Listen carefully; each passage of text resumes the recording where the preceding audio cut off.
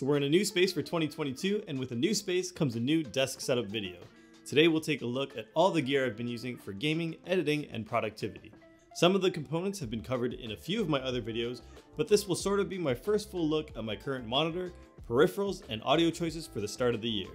So with that said, let's take a look at the newest addition to the setup, and that's the desk itself. The desktop is the classic kitchen countertop from IKEA with some white Alex drawers on each side. The specific top is called the Möllekulla, and it's a little too shallow for my liking at 25 and 5 8 inches. It was originally 98 inches wide, but I trimmed off 8 inches to fit snug against this wall. For some extra stability and versatility, I've added a generic white sit-stand desk frame from a local office furniture store. This particular model has four adjustable presets that give me easy access to go from sit to stand and changes my workflow during the day. At the lowest height, the Möllekulla tabletop sits on top of the Alex drawers to eliminate any potential wobbling that's noticeable when set to the standing height. If you're interested in doing something similar, then I'd suggest going with a dual motor frame to make sure you have enough power to quietly raise and lower the desk. There's a ton of sit stand desk options out there, but I'll leave a few links in the description for some highly reviewed frames. I'm most productive in the mornings and find myself standing at my desk until about noon. Usually after lunch, I'll lower the desk back down to a sitting position and use this IKEA Långfjäll chair. It's relatively affordable when it comes to office chairs, and although it doesn't have a ton of bells and whistles, it's still very comfortable and does the job. Now let's talk about one of the parts of my desk that's always changing and that's the audio setup. I normally bounce between gaming headsets for testing, but as my daily drivers I've been using the Audio Technica ATH-AD500Xs for about 6 months now. I know that they're quite an old set of cans, but a friend of mine recommended them to me as a budget option when I was looking for an open back set of headphones, and I've quickly fallen in love with them. The overall design of these headphones are very polarizing and honestly do look sort of silly on your head, but believe me when I say that they're extremely light and comfortable. And for a price point of under $100, the sound coming out of these is amazing for gaming, editing, and listening to music. Being an open back headphone, they have a pretty decent soundstage and a fairly clean mid-range. My only real complaint about these is the fixed cable is obnoxiously long. I've tried routing this behind and under my desk, but it gets pretty annoying when it falls down and I run over the cable with my chair. It's honestly probably only a matter of time until these stop working. I've also been experimenting with the Moondrop Arias and enjoy the lighter feel of IEMs while gaming.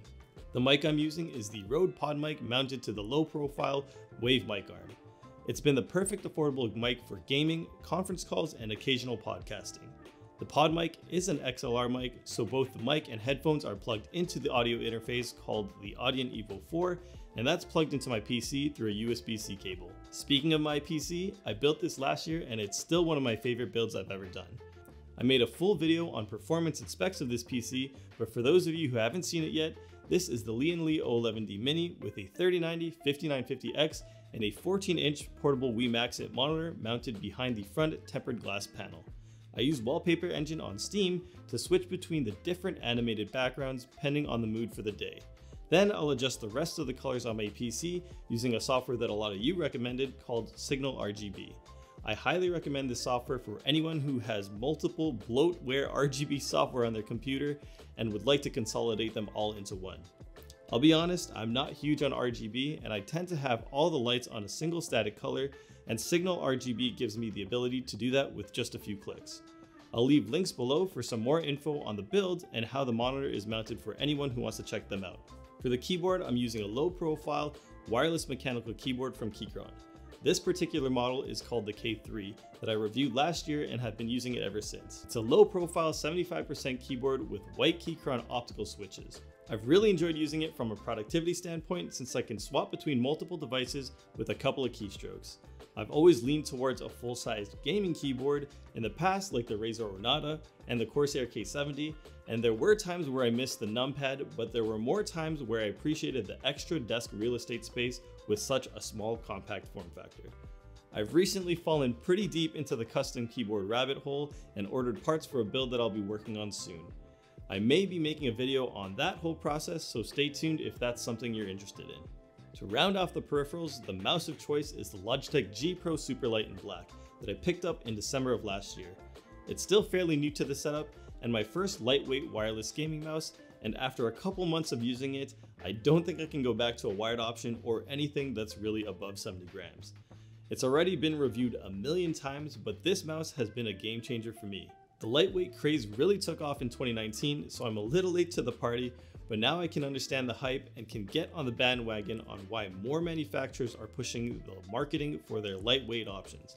I was using a Zowie ZA13 for years, and I'd be interested to see their take on a lightweight wireless gaming mouse. The mousepad is an extra large soft Artisan Zero, honestly pretty pricey for a mousepad, but the quality, consistency, and feel are unmatched. Everything from the low profile, perfect stitching, light smooth gliding, and rubber base that sticks to the table like glue really give this mousepad a premium feel that's deserving of a premium price tag. It has an ideal amount of stopping power and low enough friction for me and the games that I play, and this combo has really helped me get back into being somewhat competitive. Which leads me to my monitor or monitors of choice. I was playing around with the orientation of my monitors while putting this desk together, and for now I've settled on my secondary display sitting on my left side in portrait mode. I mostly use this as a dedicated monitor for browsing, scripting, or coding. My main display sort of changes depending on the time of day. When I'm being a sweaty FPS gamer and playing games like CSGO, Halo, or Valorant, I run the Zowie XL2546K. It's no stranger to the competitive gaming scene, a TN panel that's 1080p, 240Hz, and has BenQ's exceptional motion reduction technology called DyAc. You really can't get any sweatier than that. But for all other games or when I'm editing and being productive, I swap to the LG 34GK950F. Ultra wide QHD display, and color accurate IPS panel that gives me the extra screen real estate and accurate colors I need while editing, but still has a high refresh rate for the times when I'm not playing a super competitive FPS. I have hot swap plates mounted to the back of each monitor so swapping them out only takes a few seconds. I got this idea from the super clean setup of Ali on Optimum Tech. Above my monitors is a huge Stendig calendar that has a modern, minimalistic vibe with the simple white and black Helvetica font. The calendar is functional, but it's more of an art piece and fairly expensive for what it is. I've always wanted one, but couldn't justify the price tag, but moving into the space, I felt that I needed to put something above my monitors to fill the void, and on top of that, I found it on sale for about 75% off. On the right wall, I have a framed print of the brain anatomy from Ork Posters. They have a bunch of interesting simplistic typographic prints that are mainly designed in shapes of cities or countries. On the left, I have an IKEA Skådis pegboard with some hooks and shelves to carry and showcase some more of my productivity and essential items.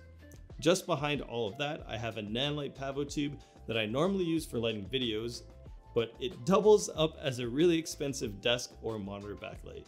So that pretty much sums up all of the tech on my desk setup for the beginning of the year.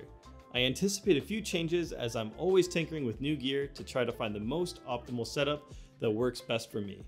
I'll try to link everything in the description below, but feel free to drop any questions in the comments and I'll try my best to get to them. Otherwise, thank you for watching, we'll catch you in the next one, and later days.